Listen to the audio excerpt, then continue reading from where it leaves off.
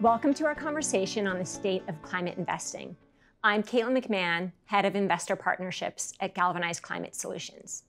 Today, I'm joined by our co-executive chair, Tom Steyer, and Innovation Expansion co-head, Saloni Multani. Tom, why don't you kick off the conversation? What does it mean to invest in climate solutions? Thanks, Caitlin. Climate investing means putting money into companies and projects that increase the scope and pace of decarbonization and prepare us for a net zero world. Given that the use and generation of energy is endemic to virtually every human endeavor around the globe, that creates an opportunity that is absolutely vast. When we think about solving this problem, we're talking not only about global scope, but so many different opportunities for investment that it's truly unique. The urgency, the necessity of this problem creates an immense investment tailwind. And so when we think about what we're trying to accomplish here, we need trillions of dollars to be devoted every single year for the foreseeable future into solving this problem. And that's something which Saloni and I really are here, and it's why you're here, is for us to come together and put that kind of capital to meet the best of these opportunities so that as a group, we can respond in, from the private sector standpoint to this problem. And let me say, this is going, we're in the execution phase. You know, I've spent a lot of time thinking and working on climate, and we're at a pl- place now where we have to get it done. And when we think about what gets it done on a global scale, it's really capitalism. Capitalism scales. If you have a terrific company that's growing and throwing off cash, that is something that's going to attract investment dollars on a global scale. Of course, this is going to have to be done in conjunction with the public sector, with governments around the world. This is a society wide response. But we're here talking about climate investing. And that's something where there's immense urgency, there's immense size needed, and really it's a historic need to turn things around and get us to a safe place, it's going to be the private sector that takes the lead. Well, and Tom, you say turn things around. I think, you know, the magnitude of the transition that, you know, what we've had historically is a relationship between population growth and emissions, where emissions intensity per capita has actually increased. And what we're going to need to do is see that decouple. So we're going to need to do it fast, and we're going to need to fundamentally change what it means to grow. I think there's no question that what we're going to have to do is be able to replace economic activity as it's done today with better, cheaper, faster economic activity that is also safe and green. Yeah. And I think it's something where we have to get started now. We have to make real progress over the next two, five, ten years. If we're going to meet our 2050 promises, they're just promises. Unless we have real plans and make real progress, then our ability to meet those promises is going to be dramatically diminished. That's the nicest way to put it. Really, we have to make progress right now so that, that it's possible for us to get to a net zero world in 2050. And I think we need to be anticipating what we're going to need to continue to deploy solutions at the pace we need to deploy in 2040, 2050, lay that foundation today so that we can really set ourselves up. I, I don't think there's any, look, this is a huge challenge. It's also a historic opportunity from an investment standpoint. This is a dramatic tailwind. The urgency means it's not whether we succeed, it's just a question of how are we going to make this succeed because it's absolutely essential that we do so.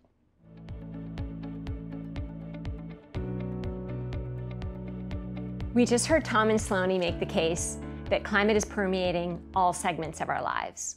Saloni, can you break that down for us? How should we think about different climate companies? Sure. So I generally like to start by just kind of having two big categories that are companies that address climate resilience and companies that address climate mitigation. And so, what do those two words mean? Well, resilience is thinking about how we as humanity, we as living things, are going to continue to adapt, thrive, survive in a world that is going to see increasing physical change and ramifications of climate change. And so, what could those companies look like? You know, there are businesses that are deploying proprietary hardware coupled with machine learning to help identify early wildfires so first responders can get to them quickly.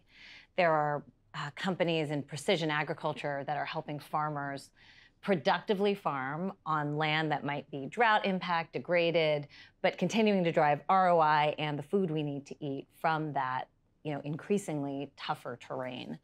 Um, there are software tools that you know, climate scientists, data scientists are working on to try to predict where climate events or climate exacerbated events might hit so we can evacuate early, we can allocate resources appropriately, we can price that risk appropriately so we can continue to have, you know, a functioning society and also functioning capital markets and risk markets in the context of um, increasingly expensive climate events.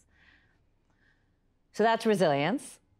You know, the second category of mitigation is really companies that support the reduction of emissions. And you know, as you referenced, you know, as Tom and I talked about, you know, emissions are really inherent in every part of our lives, and we're going to need data and information and intelligence to be able to decarbonize and, and execute against this capital stock turnover. And so, what could those companies look like? They can be software companies that collect data and analyze that data in order to help us measure and identify places where we can go and address, you know, hotspots of carbon. Um, it can be consumer platforms that help us to purchase, consume more in a circular way, um, you know, to recapture materials and reuse materials to be more resource efficient. Um, renewable project developers, you know, the team that puts solar on my roof or um, deploys wind turbines, you know, out in the middle of the ocean. And so those, you know, are kind of the two big categories. I think. I don't know if that resonates, Tom. Well, it obviously does. But l- let me ask you a question because a lot of what you're talking about, Saloni, comes under the rubric of if you can't measure it, you can't manage it. Yeah. But these are huge physical systems that are causing emissions. And you're talking a lot about information, data, software, the ability to get information to manage them. Yeah. How do you think about investing from the standpoint of the huge physical systems and the the information systems that allow those systems to work Yeah. more efficiently? Look, I mean, I think ultimately the two are inextricably linked. You know, we have developed as a society to use information, use compute, use intelligence to do everything that we do. And the way that we decarbonize will be similarly deploying that type of intelligence um, to allow us to do things better, faster, greener, and cheaper. And so in California, you know, in just this past gosh, this past month, we had a heat wave, you know, another record heat wave as we have, and California was able to actually avoid blackouts, which they had not been successful in avoiding in the past in even less severe circumstances, by sending pretty loud but targeted alerts to people's phones to tell them they must reduce load now. And so in this, you know, this new this new sector of our energy econ- economy called demand response, they were able to intelligently identify what nodes do we need to reduce power at, reduce consumption. If we reduce consumption, we can actually avoid system-wide or you know more mm-hmm. broad blackouts. And so you know, it's a small example. Farmers, you know, we reference precision agriculture. Um, you know, farmers are taking in. You know, we waste two thirds of the nitrogen fertilizer we apply, or by we, you know, it's sort of like the old advertising adage 50% of advertising is not effective, but we don't know which 50%, so we continue to do it all. So by giving farmers the tools to identify these are the plants that need it. This is when it is most effective to apply. Don't apply just before a rainfall where it's going to get washed away and run off and actually create, you know, another externality in polluted groundwater. We can both help farmers drive better ROIs, reduce their input costs while actually reducing the externalities that come from nitrogen production and application. So, so it's critical. Saloni, you're, ta- you're talking about putting together the information of the 21st century to manage systems, all of which started before the 21st century. That's right. And, and you said two of them, which is agriculture yes. and electricity generation. What, what are the big physical systems that we really have to primarily address to make this work? Yeah, I think if you ask you know, various climate modelers use different frameworks, but the big ones, you know, that I like to think about are power, certainly the, the biggest one, you know, power generation. Um, but power generation then feeds into a lot of industries. You know, we talked about agriculture, things like fertilizer production, buildings, so the operations of a building, you know, not just the lights, but also the conditioning is a huge source of power consumption. Transport, we're trying to electrify transport. Um, so increasingly, our cars are electric. We're working to get our buses and trucks and other modes of transport, our trains also running on, on electricity. And then the another huge one in terms of an emission source is industry. So cement and steel each account for 8% of global emissions. And that's not just the energy that goes into producing those commodities, but actually the process emissions. The calcination of limestone is half of the emissions that cement that you know, occur in cement production. And you know, we talked earlier about needing to decouple emissions from population growth and from development. You know, you think about how foundational cement and steel are to development and growth you know, we need to decarbonize those processes in order to enable development while also decarbonizing our future. And I'd say there's one last physical system. So those are five kind of incumbent economy, big physical systems. The last one is one that really doesn't exist yet today at scale, but we need to create a new one, and that is carbon removals. So nature gave us, you know, trees and plants that are little carbon capture machines themselves we need to continue to support and you know, farm regeneratively, you know, sequester carbon in the soil, sequester carbon in trees we plant, but also drive engineered removals, which are sucking carbon out of the air because we need to suck carbon out of the air and put it back where well, I think from. it's really important to point out in, in, terms of what you're saying in terms of sequestration is that we're not trying to get to net to zero. We're trying to get to net zero. That's right. That we know will still be there are some CO2, things that will just be but very, very it's going to be a net zero. And I think the other thing that you can hear loud and clear in what you're saying, Saloni, is that these are big physical systems that exist. So of course, this is going to be a process of replacing them and doing things in a new way. You talk, you know, we're not going to have completely different electricity generation tomorrow. Yep. That's why we need to get going immediately because we can't replace those systems overnight. Absolutely. And we also you use the word systems a few times. I think it's also really important, you know, I talked about these emissions wedges. Unfortunately, it's not so simple as, okay, just great, go and electrify transport. Because what happens when you electrify transport? Well, so you go from mobility and then you hop over to power and say, well, now we need to make sure that the electrons we're producing are green. The vast majority of the electrons we produce in the US today are not green.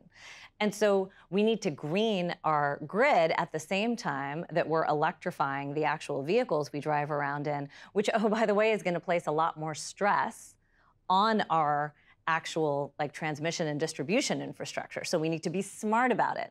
We need to actually enable demand response. We need to actually deploy the software that software that will allow us to manage charging. So all of these changes need to happen in tandem. They need to be enabled by information and data that cuts across these silos. And siloed actors in our economy need shared intelligence to be able to make decisions in response to one another. Um, and we need to get really good at that really fast. And, and taking a step further than you just went, it's also true that if we're going to electrify transport, those batteries are going to acquire minerals that we mm-hmm. don't produce right now in any kind the size that's necessary when we're talking about no internal combustion vehicles sold Absolutely. after 2035.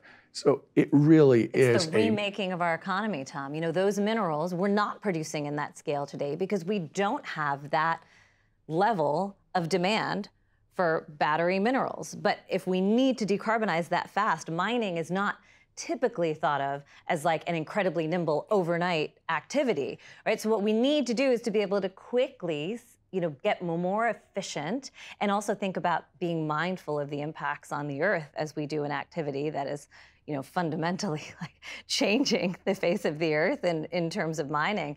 Um, to be able to get the materials we need and then recycle those batteries when they come to end of life. I mean, these are it's never ending, right? The ways in which our economy needs to be remade. And that's the point. It's vast, but it's also so multifaceted and such a huge array of opportunities Absolutely. for transformation.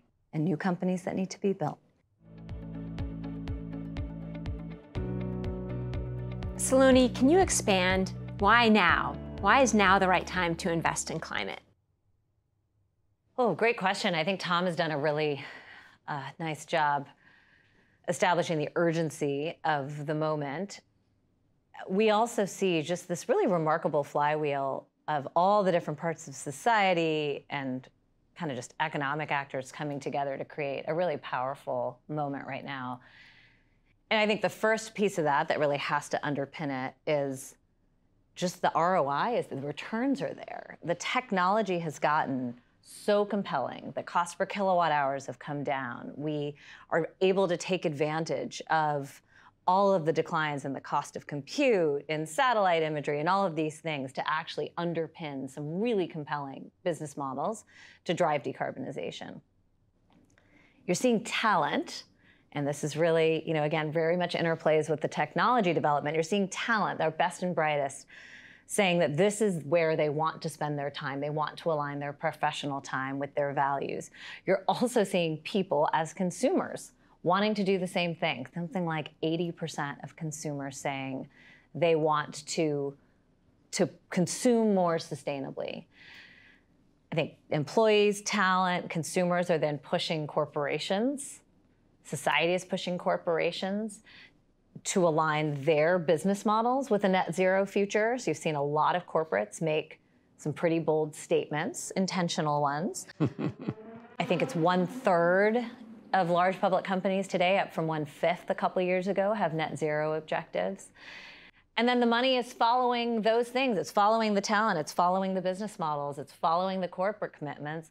Um, and you're seeing a lot of capital get put behind climate solutions. You know, the, I think the first half of this year, climate tech companies raised 50% more than they did in the first half of last year. I think overall it's an $800 billion energy transition spend in 2021. And I think finally, you know, policymakers, all of this adds up to a society and economy that you can't, policymakers now need to also align, you know, their their work with the will of the people and of the markets. And so whether it's SEC, you know, draft climate disclosure regulation or in the EU, SFDR or other measures, I think all of those different elements of society, you know, so technology, talent, consumers, corporates, capital markets, and then policymakers really feel like they're all lining up in a way that the climate action we need is going to happen. And it is really just a matter of, as you said earlier, how? What's it going to look like? Well, I mean, I think it's really important, Saloni, to remember this didn't, we didn't just get here there has been at least 15 years of work, both in terms of investment and development of technology to get us to a place where we can win in the marketplace. Yeah. And over that time, there's been at least 15 years of concerted effort to push society, to push policymakers and consumers and citizens to be aware of this issue and to bring them forward to a place where they're not just aware of it, but insisting on the changes that we need. So, I mean, it does remind me a little of the old Hemingway quote How did it happen slowly and then all at once? Mm-hmm. Well, I think we're at the place where we need that explosion of yep. change. And honestly, the numbers you were giving in terms of capital, you know, that we're up 50%, that there's $800 billion, $800 billion by any measure is a lot of money. Yeah. And it's also completely inadequate to this problem. Absolutely. And no, so that, that we need right. something very big, very quick, and we need that kind of slowly, and then all at once. Yeah, the end of that sentence, I think, is the the numbers range based on what you look at, but I think it's four and a half trillion a year for the next 30 years that we need to get to a net zero future and that you know there's some assumptions in there about how well we spend it and how efficiently we spend it.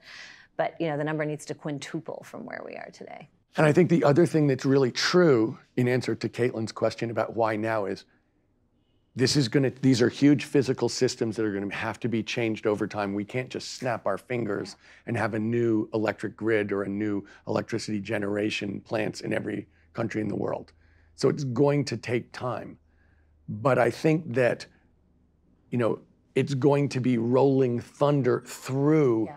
all the sectors you know and, and why don't you go through and, and talk about what that process is going to look like so that we don't just win in the short term, but we're build, you know, we're yeah. compounding success in the marketplace, winning in the marketplace. Well, and I think this is the point that the technology advancements are not just that lowering cost per kilowatt hour. It's not just solar panels and wind turbines, which have been phenomenal progressions in terms of the cost declines and in terms of the efficiency gains, but also the utilization of kind of just the the advancements in technology we have and our ability to ingest massive quantities of really dense, you know, hyperspectral imagery data generated from satellites orbiting the Earth once daily that we can actually develop a full satellite fleets orbiting the Earth once daily where we can get this incredible picture of where deforestation is going to happen because we see the roads being built.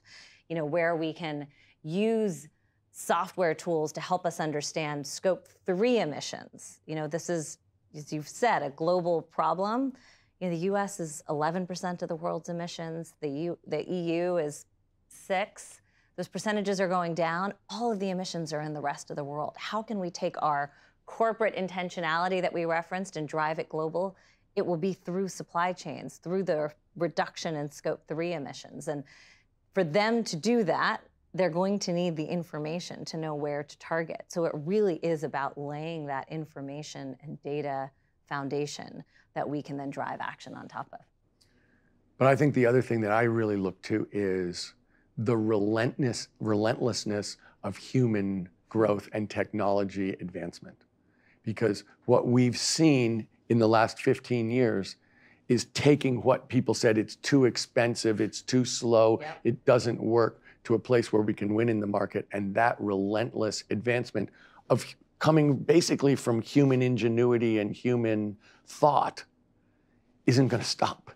I mean, in fact, we need that to be much broader. We need it to be much more inclusive to drive the kind of transformational change that's required for us to solve this problem, and which I deeply believe is going to happen with investment, but with all of society pushing and supporting that kind well, of Well, and I think that is I mean, what you're describing essentially is the scaling down of cost curves as we scale experience curves, as we deploy, as we continue to iterate, as we continue to improve, you know, and that's where stacking all of these forces on top of each other. You know, the IRA and the incentives it provides to deploy at greater scale, the consumer demand for this type of sustainable growth and consumption, the corporate intentionality where procurement managers are now saying, no, I have to go and find these new solutions.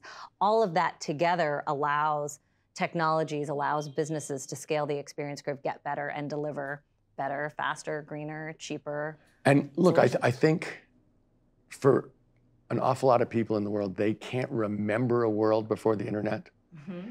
And yet, at this point, virtually every company is internet enabled and is actually that's a critical tool for them to behave and it's that kind of ubiquity and awareness that has got to happen in terms of climate solutions to a point where people forget that that wasn't always something yeah. that everybody was thinking about that they didn't include in their thinking and in their decision making right. about what to buy how to produce things and really how to run the world when you know you give that internet example i also think about and you describe how we can't remember a world before you know you think about the way development of communications infrastructure happened in the developing world and you know they skipped landlines in many places they never dug up to lay down copper wire. They went straight to mobile phones, straight to transacting via a mobile device.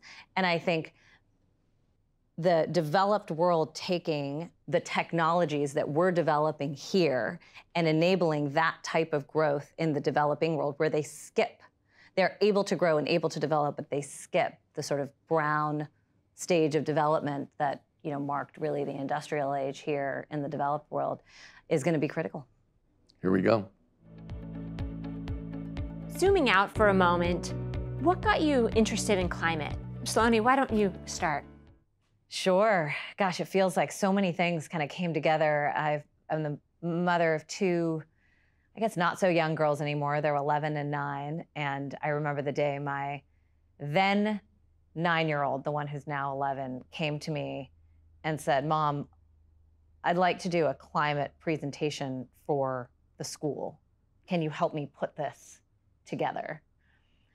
And I know it was this moment for me of, you know, doing this work, I have felt like a core part of it is ensuring a livable future for my girls. You know, my parents came here as immigrants. Part of what every parent wants for their kids is a better life than what they had. And I feel like I've been really fortunate. And I looked ahead to, candidly, not only my own daughters, but my family back in India and say the prospect of them having, you know, a future forward looking that is of higher quality. I think I just read an article this morning about the Indian monsoons and what's happening feels like unless we take pretty dramatic action now, that probability doesn't feel very high. And so for me, it was a pretty abrupt shift about five years ago, actually seven years ago now, time flies, where I decided this was the only work I wanted to do. And I wanted to dedicate all of my, you know, professional time and energy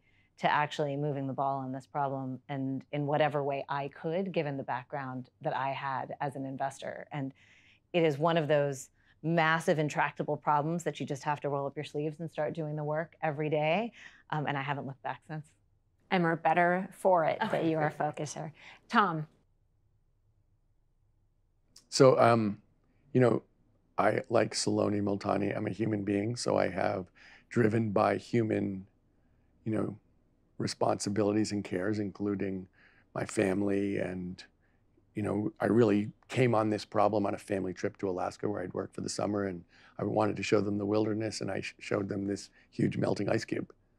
And we all agreed, my God, this is absolute clear evidence that the problem we've been reading about is very real and you know, we need to address it. And I started to address it around then as the primary goal of what I was going to do outside of my professional investing.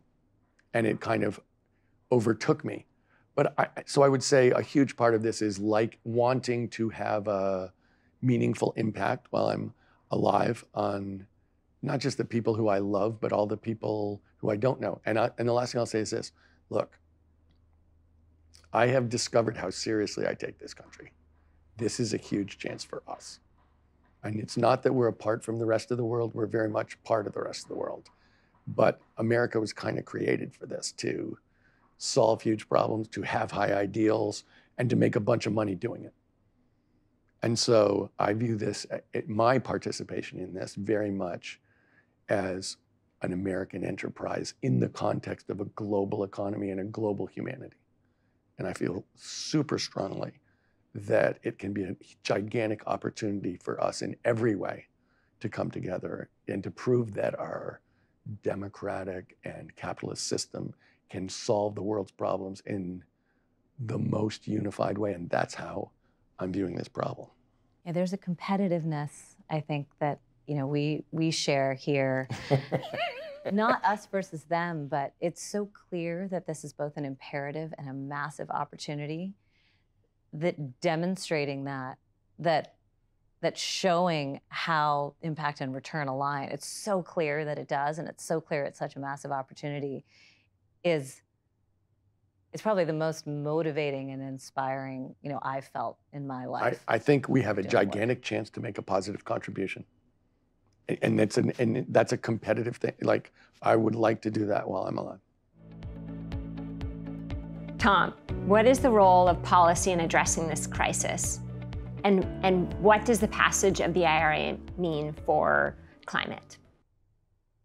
We're looking at what is necessarily going to be a partnership between the public and private sectors. And this isn't just about our climate response. This is true of all huge societal changes.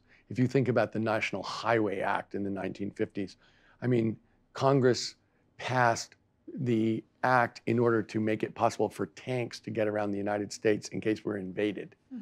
But what really ended up happening. I didn't know that. Oh, yeah. And, and, and what really ended up happening was that it made it possible for a completely different way of transporting people around this country, of transporting goods around this country, of what development was possible, where it was possible to live in completely different ways that, were, that didn't exist before the National Highway Act. So I think anything that happens here is going to happen in, the con- in that context. So when we think about it, it's not just the Inflation Reduction Act, it's also the Bipartisan Infrastructure Act, it's the CHIPS Act, it's the $54 billion California budget related to climate. What we're seeing here is American policy stepping up to support the next generation, the next 10 years of climate investing and climate solutions. And so, what does that mean? Well, I'd, I'd, break it down into two things. One is deployment, that we take the existing technologies that exist that are being used in a significant way, but actually speed up the, the timing over which they're deployed and the scale over which they're deployed. So, that would include things like solar and wind technologies, electric vehicles, charging stations, efficiency, to deploy the things that we have much faster and, and in bigger scale. But secondly, there's a huge part of this which is going to support the new technologies, not the things that we're ready to scale up in next year, but the companies that are going to develop the, the technologies that win in the marketplace and that do one of the two things that Saloni was talking about, which is either make us more resilient or mitigate the problem in the first place. And so when we think about that, that's what the United States is doing. They are supporting the investment in those technologies, deployment and creation, so that we can both deploy them here and drive down the cost curve and then deploy them around the world.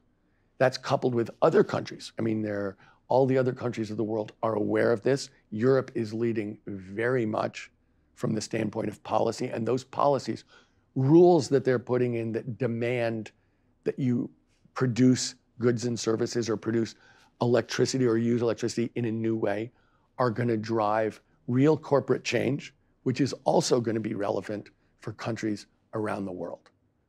So when we think about this, you know, this is a reflection, the policy, the relationship between the public and private sectors this is really driven by the broad societal awareness reflected in those elected officials broadly saying, we recognize this crisis.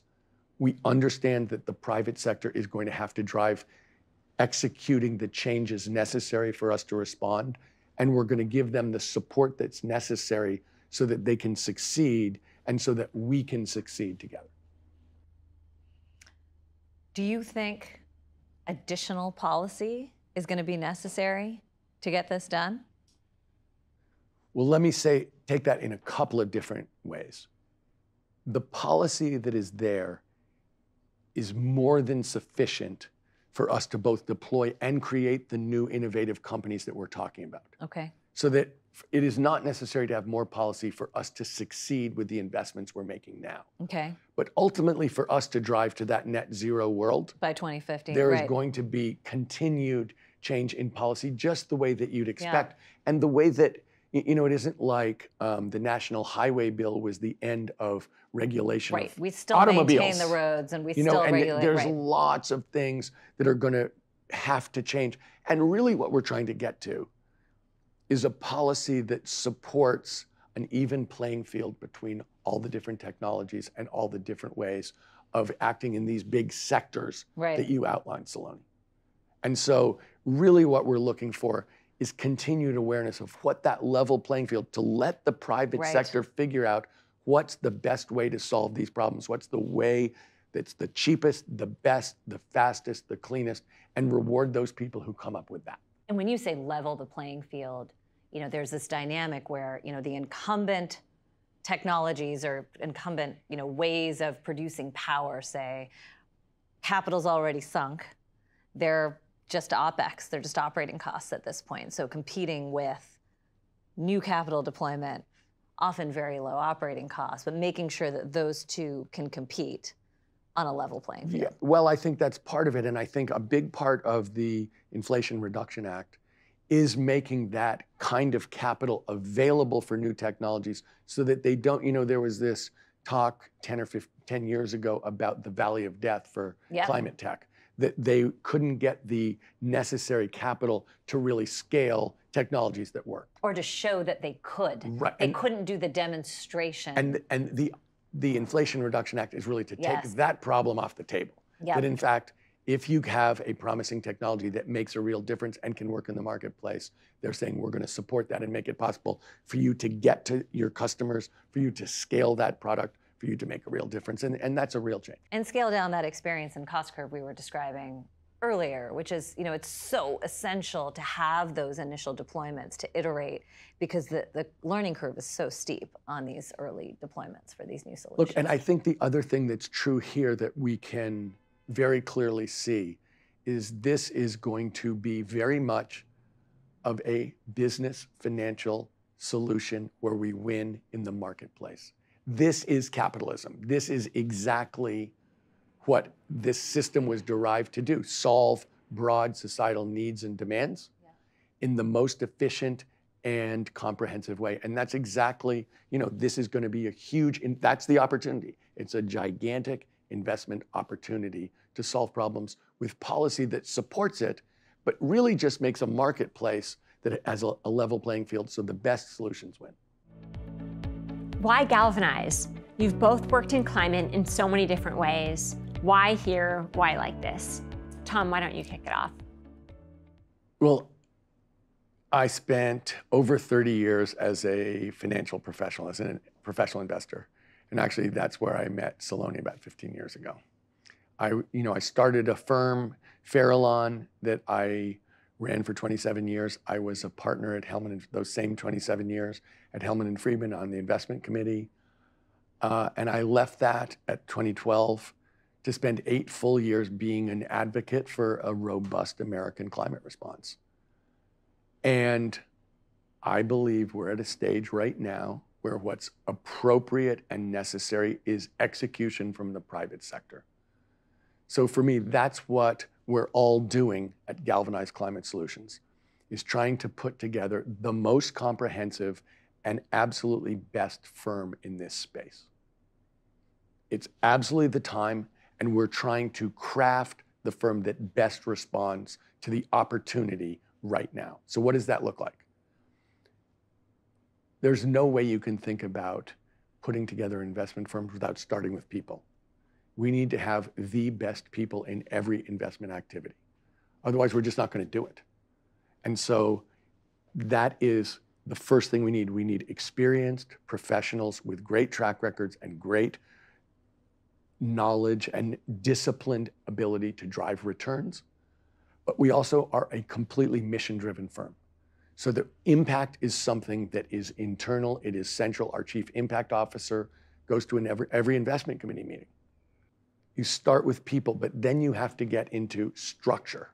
You know, are you going to set up a firm where the, you're going to incent the best behavior from the best people? So that means very much not having conflicts. We are very straightforward. We deliberately chose to be focused on climate solutions so that that is something which we're absolutely committed to all the time.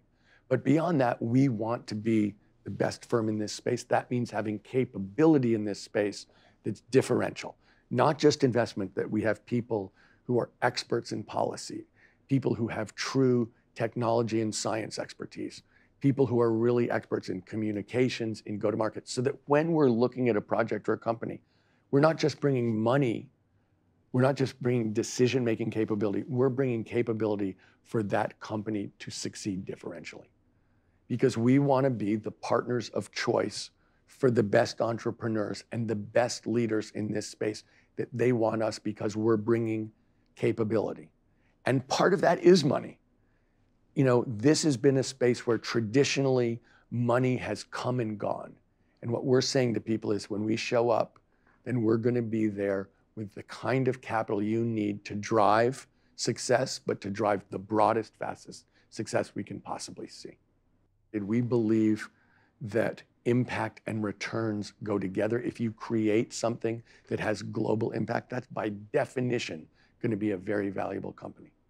So, why galvanize and how we're organizing it is really to drive the best possible returns, however you measure them, and that we're going to do it in a corporate culture that reflects the highest values and the highest aspirations of our society and of ourselves. And that means we're going to be, we're going to look different, we're going to think different, and we're going to act differently from a traditional Wall Street firm. Very deliberately, we're choosing to do that. And we're going to do it because we think that's the way you respond to a broad based societal need with a, a, a, diverse and genuinely broadly based group of people. And you do it with your eye completely focused on the future, not on the past. That's what we're trying to do. Everything Tom said really resonated. And, you know, for me, that that purpose-built nature of what we're doing here, the intentionality with which we've built Galvanize. We talked earlier about kind of the six different societal forces that we believe are coming together to create a flywheel of momentum and action. Time is now. And you see that reflected in what we've built here. You know, we started with the technology. All these great businesses start with great business models that have at their core some kind of a mousetrap, a technology component, a go to market model. We have a science and technology team that is best in class that has been working with commercializing young companies that was made to do this. We talked about talent, bringing the best and brightest talent in to scale these companies. We need to access the best that you know we as a global society have to bring to bear. We have a dedicated talent team in house to help support our companies, our business builders access that talent. We talked about consumers and consumers' desire to align their values with their purchases. A huge part of that is building a communications and branding strategy so that you can tell that story about the market or the product you're building and how it connects those dots for consumers. You know, we talked about corporations and their intentionality and these individuals sitting in procurement departments who have had that job, you know, to the, the point Tom was making earlier, they've been doing this work for a long time, that procurement function, but now suddenly climate is a part of what they do. And so making the connections with them with companies building the solutions to help them deliver against their objectives. You know, that market development function, connecting those dots is really critical as well. You know, certainly, you know, Tom talked about bringing the money and bringing the impact. We really think about those two things as going together. And then, of course, the policy scaffolding we have that's happening in the EU and here in the US, having an in house regulatory affairs function that can help our companies access the markets that the regulation and the incentives here in the US are creating, helping them navigate the landscape in the EU, which is also creating markets at an accelerated rate, you know, over in the EU. Having that all under one umbrella, having a purpose-built team, a mission driven, purpose built, to your point, looking forward, looking to the economy that we are building, must build. You know, that to me is what was so compelling about you know, doing this here, doing this work here at Galvanize? Well, a lot of what you're saying is about strategy, and a lot of what you're saying is about culture. And I think when you think about building something great, you have to get the culture right. And of course, we've got to be right on strategy. And I'm actually very, very confident that the strategy that we're des- describing is absolutely appropriate and right for this time. But I think it's also important to remember that Strategy is easy, execution is hard. So, as much as I feel very comfortable that we're doing the right thing in the right way, we still have to come into work every single morning and execute like heck so that in fact we live up to our ideals. And that's where we are. You know, we really strongly believe we've got the right culture. We strongly believe in our strategy. I think we have the right people. That's the promise of success. That's not success success is coming in every day and living up to that promise. Well, I think you have a highly ambitious world. group of people here who is highly ambitious about delivering against that strategy with execution, the execution it demands. Put me in that group. Let's go do it. Thank you, Tom. Thank you, Saloni. This has been a phenomenal discussion. Thanks for watching. For more information, please visit our website, galvanizeclimatesolutions.com.